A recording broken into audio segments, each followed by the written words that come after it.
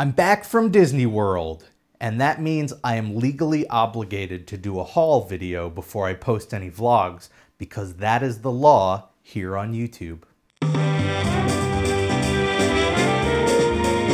So I just got back from a week-long Disney World trip and it was a lot of fun. I got to check out Toy Story Land for the first time. Um, I got to hang out with a whole bunch of cool Disney YouTubers, um, some that I've worked with before, and it was a lot of fun. We did Mickey's Not So Scary. We did some really cool stuff like resort hopping, which like not the actual resort hopping where we stay at multiple resorts, but where we just go visit multiple resorts. Um, and so there were a lot of firsts, and it was very memorable. And uh, if you keep an eye out on this channel in the coming weeks, I'll be I'll have my vlogs going up. Uh, it'll probably be one part a week. But before I do that, like I said, I'm going to do a haul video, and I'm going to show off uh, all the stuff that I got and where I got it and why I got it and all that stuff that you would expect from a haul video.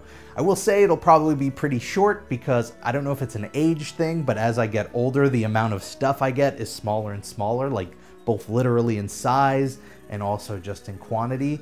But let's jump right in. So I'm gonna start off with the stuff I didn't buy because it was free, the freebies. And I'm gonna start off with the lamest of the freebies, and you're gonna go, Rob, that shouldn't be in a haul video, that doesn't really count.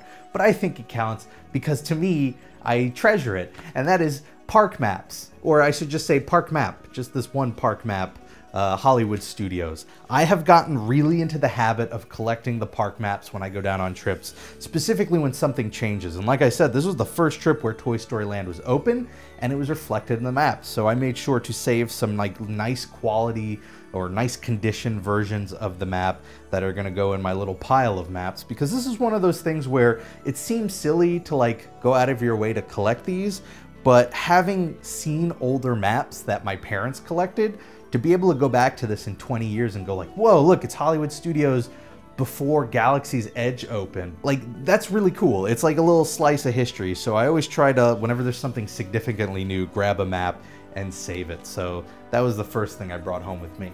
The other freebie that I picked up is pass holder magnets. I love this trend of Disney giving out free pass holder magnets. Um, we went while we were there, you know, we did not so scary, but at the same time, we caught the beginning few days of Food and Wine 2018. They were giving out these Mickey uh, pass holder magnets, and so Kat and I each picked up one. That's why I have two.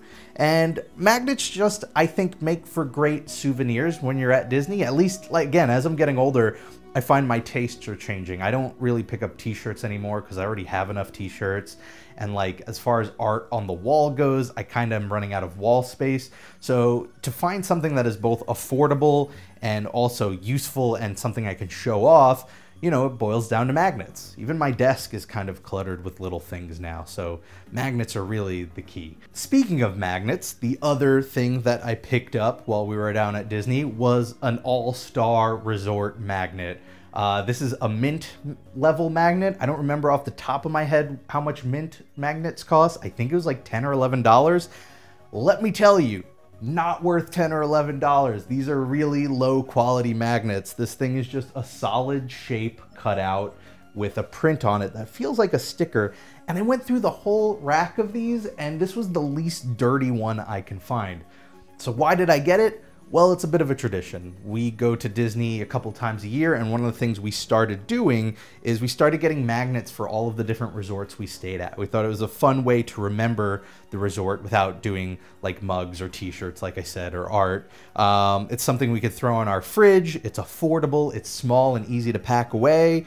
Um, and it kind of turns it almost into a collectibles game where, you know, maybe that's you know it sounds silly but it kind of helps push me to like try different resorts because that's a new magnet i get to collect but yeah really low quality magnet not to throw too much shade disney but like compare this to the uh, art of animation magnet which uh, I didn't pick up on this trip. This was from a previous trip, but this is like a, you know, the die cut metal. It's got a really cool design. It's got some depth to it because it's layered and some awesome art. It's just, night and day difference in quality when it comes to these two magnets. Uh, this next thing I was about to say was another freebie, but not really because you have to go to Mickey's Not So Scary to get it. And so with that being a charged event, uh, it's no longer a freebie. And that is the uh, exclusive, uh, not so scary Sorcerers of the Magic Kingdom Orange Bird card. It's the Orange Bird's Juice O Lanterns. We ended up getting two, one for Kat and one for me. Uh, I wanted to talk a little bit about Sorcerers of the Magic Kingdom because before I left on this trip, one of the things I told Christine on an episode of the TTA was my goal was to play through Sorcerers of the Magic Kingdom no matter what. Like to set aside time and to play through a game beginning to end, run around the Magic Kingdom, forego rides for it. Um, and I ended up getting the cards to do so. I wasn't going to do it on Not So Scary because it's kind of, you know, there's all this other stuff going on. But on our return trip, we were going to do it. And we got one, one stop in and as I was watching all of the exposition play out on the screen, I got suddenly so bored with it. And I think the concept's really cool. I love this idea of a card game, and you have the different types of cards, and they do different things, and you have different enemies. Um, but almost immediately into the game, I was thinking, boy, I'd rather be on the Haunted Mansion right now, or Space Mountain, or literally any ride. And I love video games. And so I really do think that this game, at the end of the day, I mean, maybe it's it's catered more towards either younger guests who won't be able to do like their, you know, Space Mountain or Big Thunder or something, um, or more specifically Orlando locals who can afford to go for a day and not do any rides. But as somebody who only visits you know, once a year or twice a year, I feel like the value of going on rides is just too high to spend the time working on this. So even though I have a deck of cards here, and even though I love the concept, I still have not played through Sorcerers of the Magic Kingdom. I was thinking on my way back though, like, I really wish Disney implemented a way to use these cards in some sort of offline or localized version of the game. Like, wouldn't it be cool if they put out an app that was similar to the game in style, but you know, instead of, you know, standing in front of a storefront, you're standing in front of your iPad or your phone or something, or maybe you scan the card and then you get a digital version and you play at home. I just think it would be really cool to find a way to use these cards at home rather than just using them at the parks. Next up, pins, because I've recently gotten a little bit back into pin trading. I normally only pick up like maybe two, sometimes three pins on a trip. But on this trip, I found myself uh, coming home with five pins. So the five pins that I brought back, uh, starting with the, I guess, the Halloween party, was the Orange Bird one. Now this one is a pass holder uh, exclusive. I picked it up because I'm a big fan of the Orange Bird. I don't know why I'm a big fan of the Orange Bird. I just think I like the design of the character and I kind of like the history of the character and how it came about. And so I saw this pin, and even though I'm not a big fan of like the moving pins, uh, I picked it up anyway. Uh, it retails for $15. Um, it was just a cool, cute pin. The other pin I picked up uh, was the uh, Hocus Pocus Villain Spectacular pin. It's a limited edition, retails for $17. Uh, I picked this one up even though I'm not a big Hocus Pocus fan, I picked this one up because I really like the design of the characters. Uh, this is a design that showed up multiple times through the event, uh, most notably on the tote bag, which Kat ended up getting one for her and one for her sister.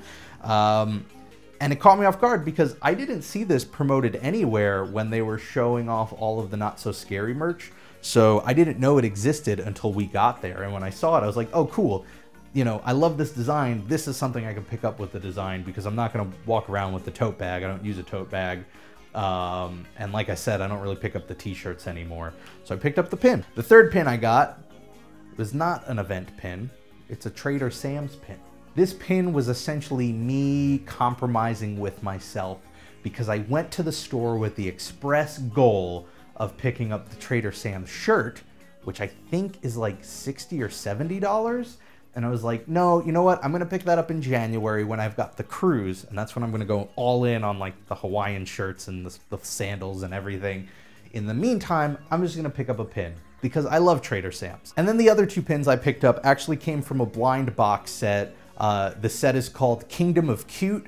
The idea is that they are um, cartoonish representations of ride vehicles and rides and buildings from Disneyland and Disney World with like little cutesy smiley faces on it. And I picked up the blind set for Disneyland, wanting one specific pin, and I like as I was buying it, I I regretted it already. I normally wouldn't get this because my luck with blind sets are is just awful. Like I ended up getting three or four of the the Epcot ones, and I never got once the pin I was looking for. Um, but I really, really wanted the House of the Future um, pin, and sure enough, that's what one of them was. It was the House of the Future, and then the other one I got was this uh, this the Steamboat, which I believe is the Frontierland, you know, Rivers of America boat. Uh, this one I don't really care for as much. I'll probably just trade this on my next trip. But the House of the Future I was really happy with. Uh, it's kind of like a lesser known attraction unless you were there in like the 60s and 70s. Um, so I was really surprised that they even made a pin for it.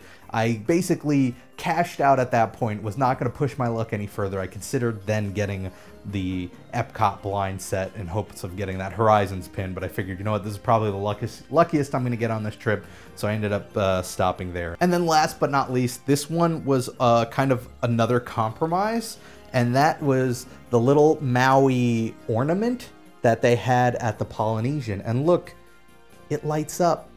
If I can get the switch. There we go. It lights up. Uh, this retailed for $25.